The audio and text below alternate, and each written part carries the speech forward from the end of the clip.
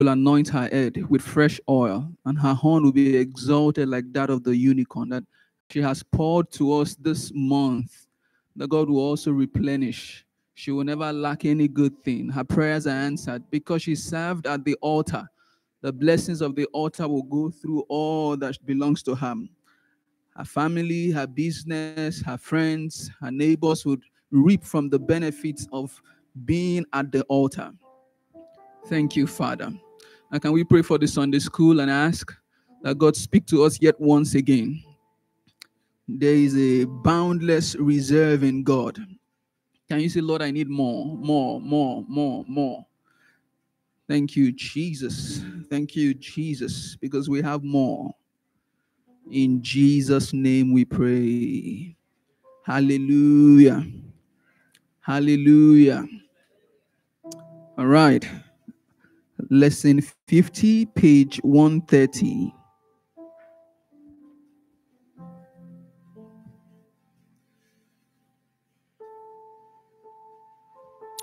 We have a God who never fails. We have a God who never fails. We have a God who never fails, who never fails. Jesus never fails forevermore. Amen. Jesus never fails.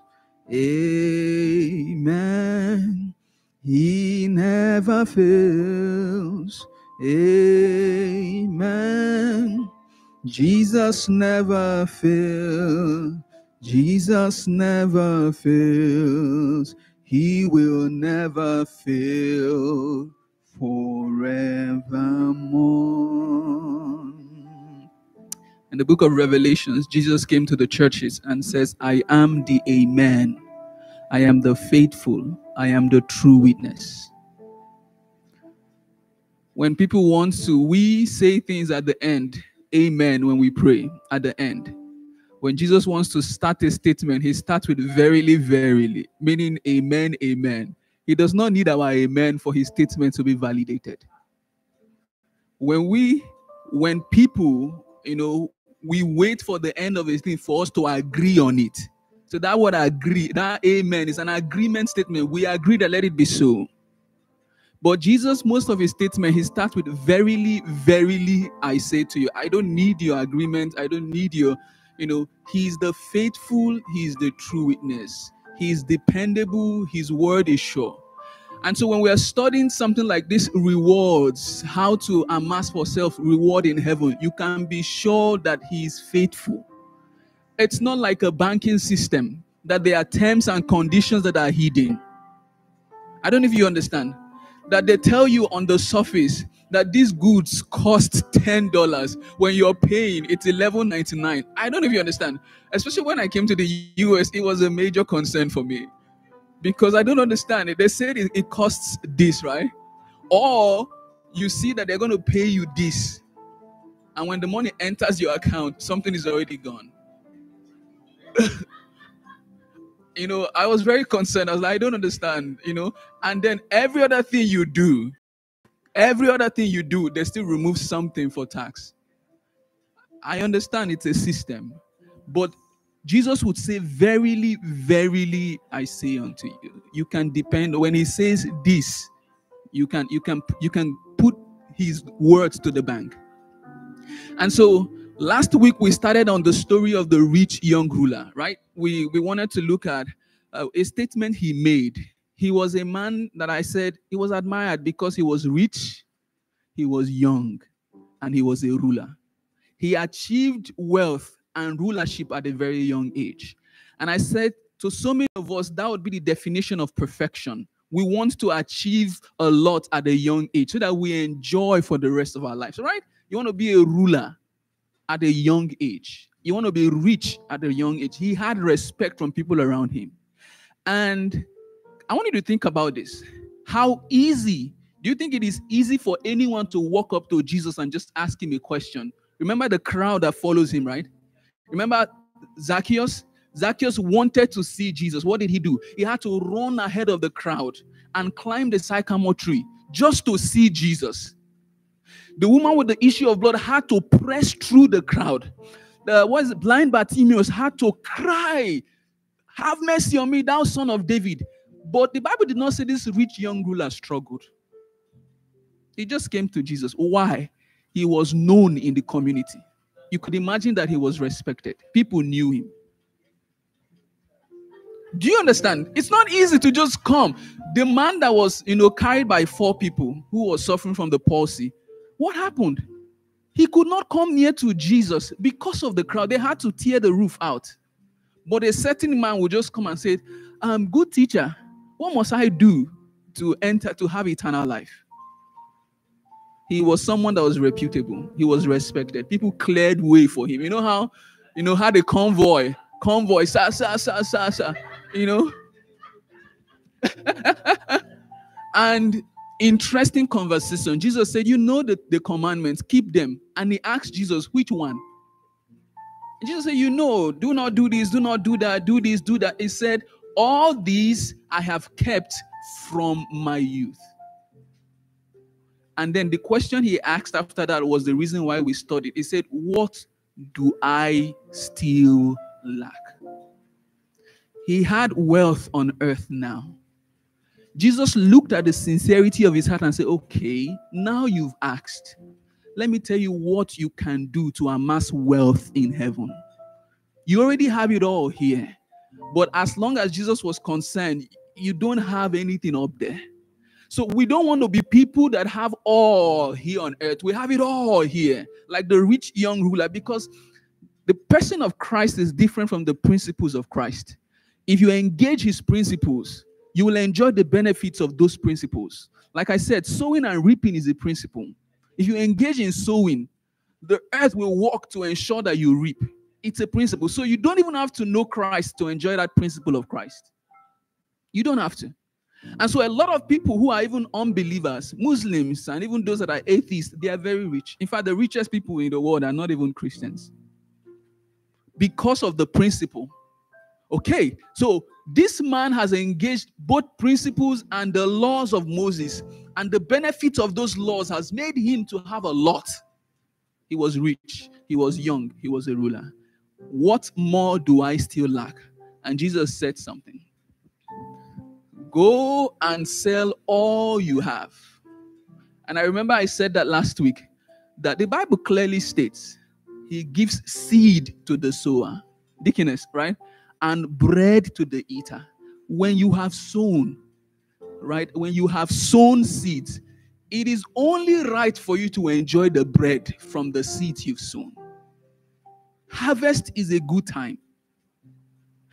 Now, when Jesus now tells you to go and take those seemingly harvest of yours and sell it and give the proceeds to the poor, it's a principle that was should I say that started in the book of Ecclesiastes? Cast your bread upon the water. Bread, like I said last week, there is nothing you do to a bread that will make it grow.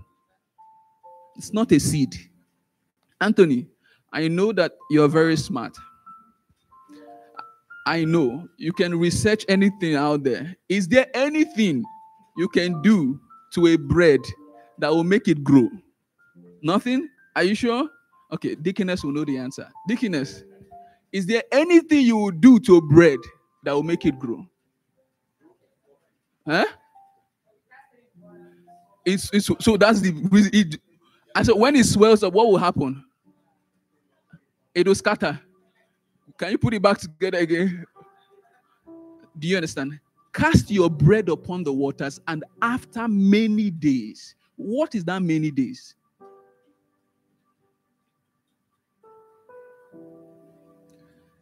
What is that many days? We've been looking at end time study. How can we make life here on earth interesting and still have something up there? Some of the things God gives to us is so that we can use them to invest in our profit up there. Some of us have means to help others. The Bible says, He that gives to the poor Bible says he lends to the Lord. Hallelujah. I know that a lot of people have bastardized the teaching of giving. People have exploited God's people and siphoned them of their hard earned money. But that doesn't negate the importance of giving. In fact, the, the, the, the, the presence of a fake currency is the evidence of a real one. If there's no real, there's no need to fake it. So Jesus was saying that giving is one of the ways to amass for yourself wealth in heaven. And then in the first condition we looked at last week, forsaking of house, parents, brethren, wife, or children for the kingdom's sake. That these are things that are close to you. These are people that you grew up with. These are things you can call your tradition, your belief system. What what what informs your way of life? These are your parents, your siblings, your house, your culture your culture. Your culture. There are cultures that um there are people I know. I'm from Igede. I know many people don't know where that is. It's fine. I'm from Benue State. Benue State is in the middle belt of Nigeria. It's just at the heart of Nigeria, next to Abuja. And Benue State has three major uh, tribes. One is called Tivs or TV Tivs. The second is called Idomas. And the third is called Igede. And I'm part of Igede. Now, the Igedes don't marry people from the Tivs. They don't. They believe that the Tivs are slaves. I'm an Igede, I'm telling you the truth. So, back in the day, the Tivs will force their wives who are pregnant to go and steal so that the baby can learn how to, to steal. It was a culture that was accepted way back in the day. You know, things have happened when God was not in the picture. Also, the Tiv culture back in the day, not now anymore. The best way for someone to entertain his friend is to offer his wife to his friend. You you understand? They used to, it's it's a thing. The best, the highest entertainment that I can give my if Anthony comes to visit me, the best way to entertain, like and Anthony will say, hmm, this guy, you know, is to offer my wife. It was a culture. It was a culture. Oh, and it was also a culture when after a man has married three, four wives, and one of his son is now like 18, 19, he marries another woman just for that his son. He's married to the woman, but so that the son can learn the ways of a woman through his wife.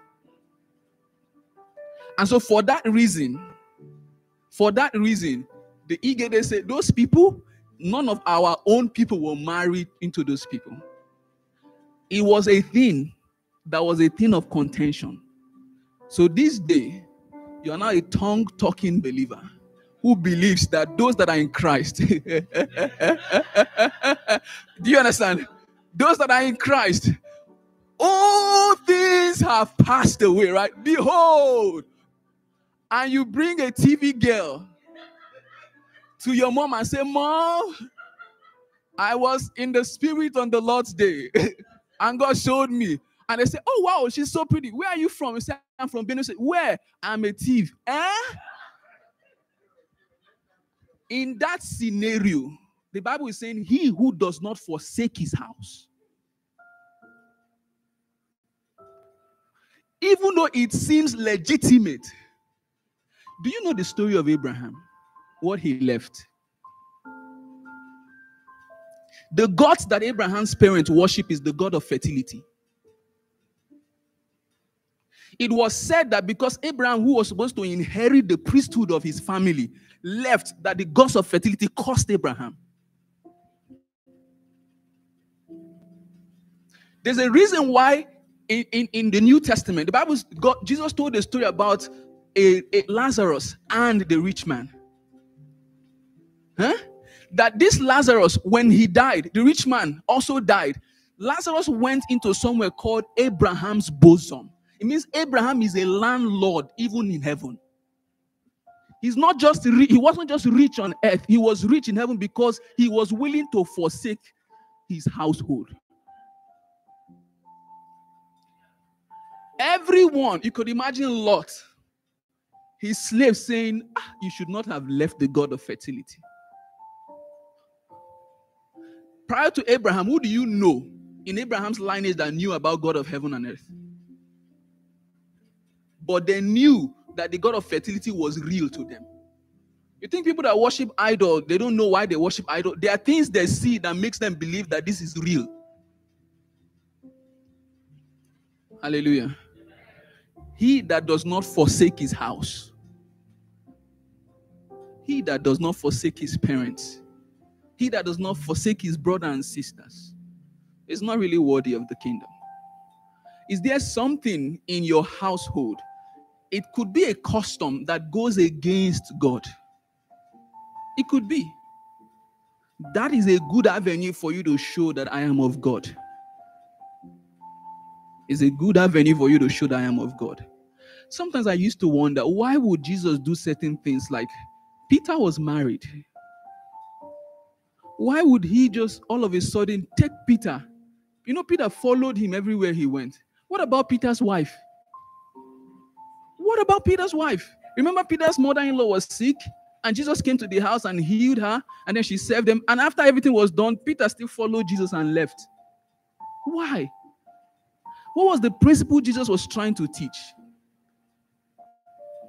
Amen. Of course, we know that Jesus is a family man. He knows the concept of a family and the importance of a pedigree. The principle is not you looking at your father and say, The Bible says this. I'm not concerned. No, that's not it. It's anything that goes against God that is in your family, forsake it. Forsake it. That was last week. All right. I want us to try and finish this today. Say, uh, showing love to enemies, doing well, and lending without hope of collecting back. Very important point. Um, the third point is keeping all God's commandments, which include honoring your father and your mother. When I was reading, I was like, why did they put honoring your father and your mother as a criteria here? You know, uh, but keeping all of God's commandments. Keeping all of God's commandments. When I was in secondary school in Nigeria, uh, the equivalent of 12th grade here, I remember, no, I was in 10th grade. I remember I had a very, I had a concern. Sir, I wanted to love God and follow God the best way I could. I wanted to, from a young age. I wanted to. My dad would put a TV, a TV station, and the person that would be teaching, his name is Bile Akani, is a popular teacher in Nigeria. And I didn't understand why the man was not energetic like the pastors I used to know. But we would all sit and listen. And there's something about being in the presence of something real. You are you contact something. Anyways, I wanted to love God, but I had a concern. My mind could, when I see a kissing scene in a movie, my mind could play it over and over and over and even undress them. It was a major concern. I knew something was wrong. I couldn't help myself. So what I did, I stopped watching movies. And on the street, you're going and you see people holding hands and it's reactivated and you realize that there is no help for you. There's nothing you can do. And so on one day, one day, we were in a small group of people together, and someone was teaching, and the person said, The Bible says in the book of James, chapter 2, verse 10, that if you are faithful in all the law and yet you transgress in one, you are guilty of all the law. I was not happy. What more do you want me to do that I haven't done, oh God? I've stopped watching movie. I refuse to to my my dad sells phones. I refuse to collect a phone. I refuse to have social media. I ref, I said if watching movies could do this, what if I go to social media? What would become of my life? I refuse to. What more do you want me to do, oh God? And it was there the Lord spoke to me because they say obeying all of God's commandments. Do you know how many commandments there are there? Do you know how many? If he cannot help you, Anthony. If God cannot help you to keep all the commandments, He will not need your help. If you can do it by your own strength, He will not need to die for you. If you have the ability in yourself apart from God, there was no need for Jesus to come and die. What we need to learn is how to yield to His strength daily. Because it is him that worketh in us, both to will and to do of his good pleasure. Philippians chapter 2, verse 13. He sees through my eyes, he touches through my hands. I helplessly replicate the life of righteousness because he lives inside of me. Every day, my, my daily meditation is that it is him that is at work inside of me. Suddenly, a day came in still that same school, two years down the line, I was in my bed. I was thinking of a scene of immorality. I found out that there was nothing anymore in me. Nothing. Nothing. How? You will just suddenly realize that it is gone. It is gone. God can do it. God can do it. So keeping all of God's commandment is indirectly saying learn to yield more and more to God, the workings of God inside of you every day. There's reward for that.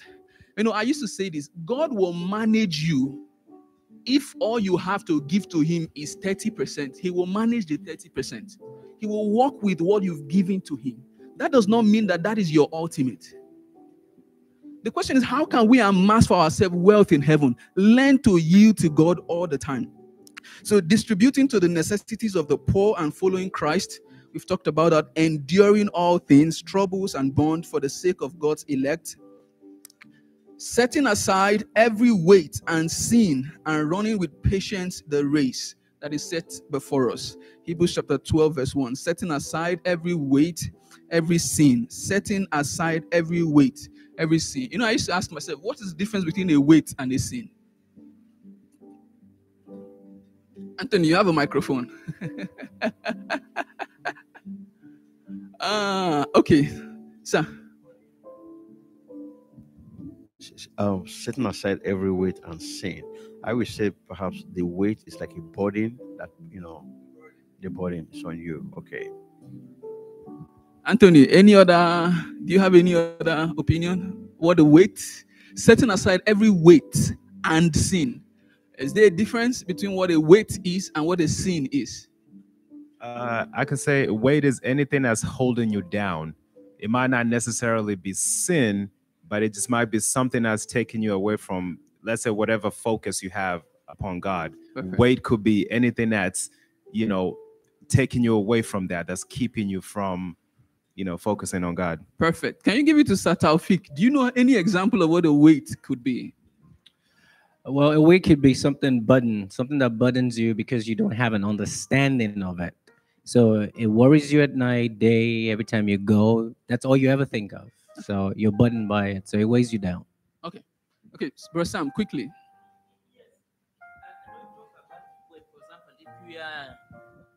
talking about athletes, uh, the athlete cannot run faster if there is something preventing him or her. Now, in our case, for example, something like guilt and condemnation can be a weight because uh, uh we are not going to believe that God has forgiven us and we are not going to experience any peace, neither joy of salvation. So, something like that can be a weight. Thank you so much.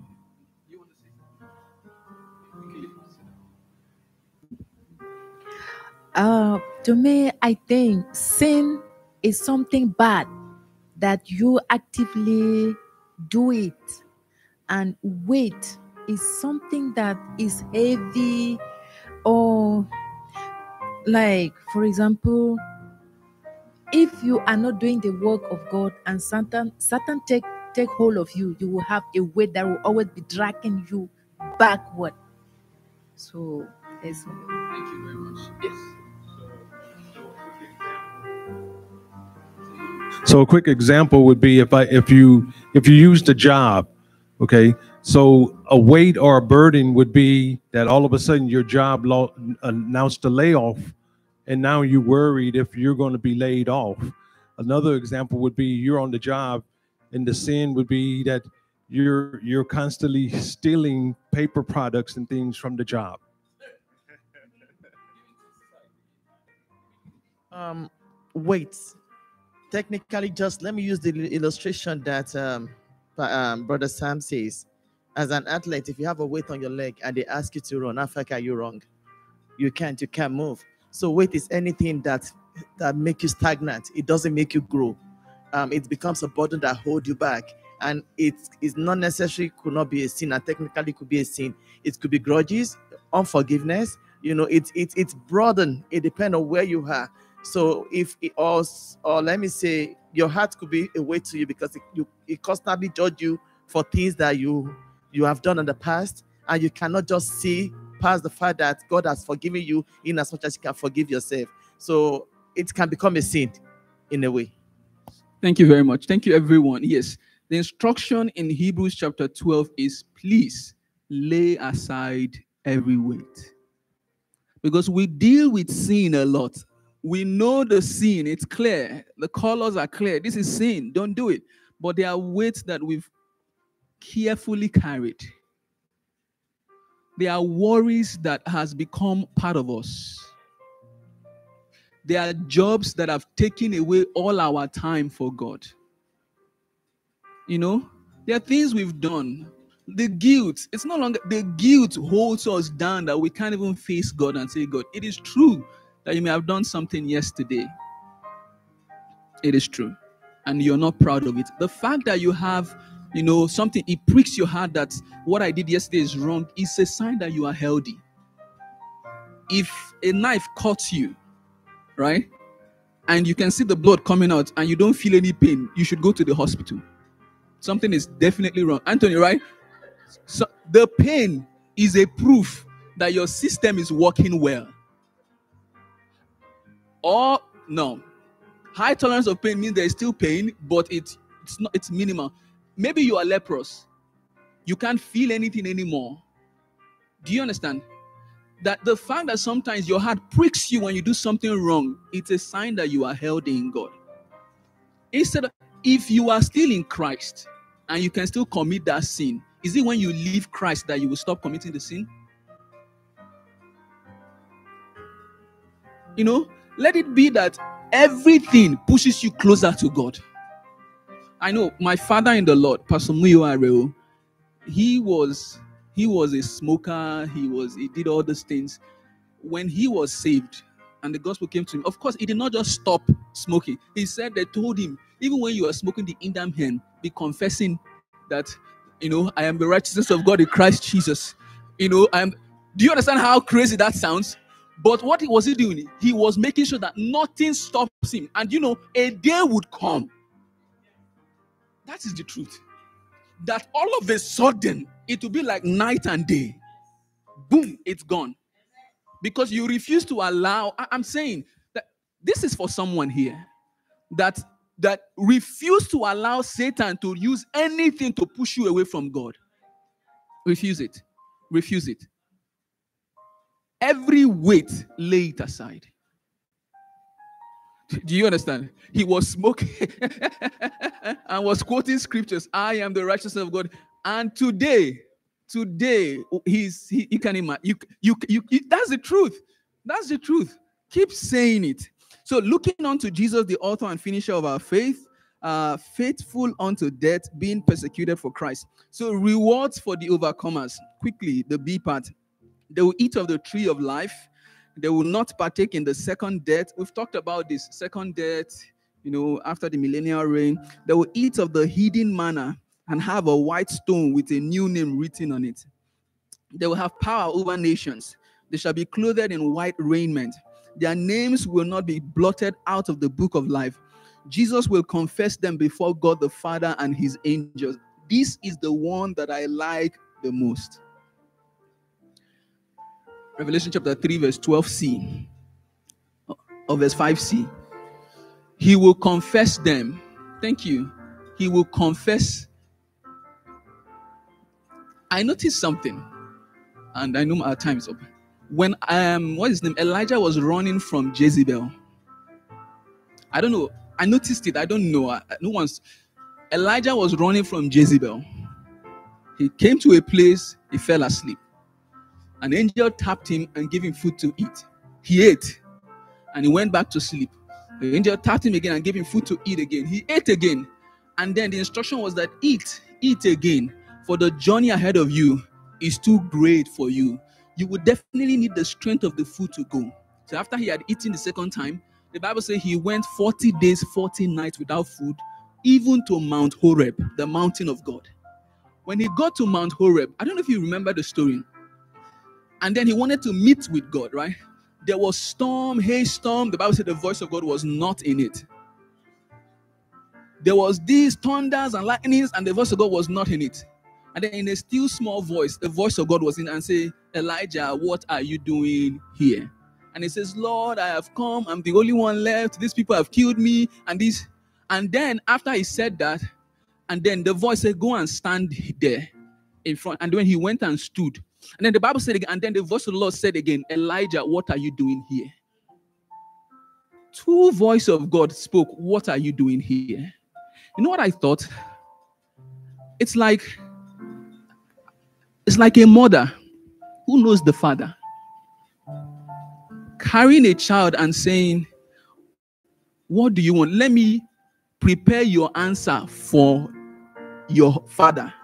I know him more than you do. I'm trying to say the Old Testament, you know, there's so much, we don't have time. Jesus, the Holy Spirit, they are clearly in the Old Testament. They are there. The fact that one, the first voice prepared his answer for the second voice tells us something. When I read that scripture, my something told me that perhaps you've never really spoken to God the Father.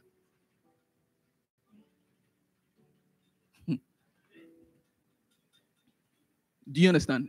Deaconess, perhaps I've never spoken to God the Father. Perhaps the Holy Spirit is speaking, He's still God. But for you to be introduced to the day, I don't know if you understand. They want to screen and make sure that you don't say what you're not supposed to say. I don't know if you watch these movies about a king, eh, where the word of the king is, there is power. That I, why would Elijah? I don't go and read that place. I think somewhere Second Kings chapter 18 or so. Why would Elijah be asked, What do you want? And then when he gave his answer, and his answer was, Okay, correct. Then he said, Go and stand there. And then the voice came again. Now, what do you want? What was that second voice? Was the first voice trying to prepare him for the second? I'm just trying to say, when when that place says that you will, I will confess you before my father, it, it's an honor. I don't know if you understand. When I read that Stephen was being stoned to death, and the Bible says his eyes were open, he saw that Jesus Christ was standing. I said, I know the, pro- the processes of a kings don't stand. They don't stand. They are the ones that people stand for. When they sit, everyone sits. When they stand, everyone stands. Can you imagine the heavens? Everyone, Abraham, Elijah, Moses, they were all standing because Stephen was coming. How many people did you hear that Stephen healed? Do you understand? We, do, we don't have an account of him healing anyone. But you can imagine the great Elijah was standing when Steve, brother Stephen, the first martyr, was walking. Anyways, I, I, I'm just saying that he says, I will introduce your name.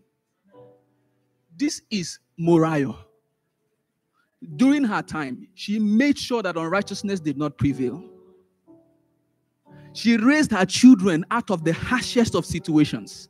And like Abraham, eh, she made sure that posterity is preserved because she cultivated in them the ways of the Lord. This is Bowman. Out of all the obstacles, he remained true to the call. He endured so many loss. Even though there were so many reasons for him to turn back, he continued. This is him. And you see the angel say, Yes, we were rooting for you. The Bible says in the book of Revelation, Hebrews chapter 12, that we are surrounded by so great a cloud of witness. They are cheering for you. You may not see them, but they are saying, Bro, Sam, continue.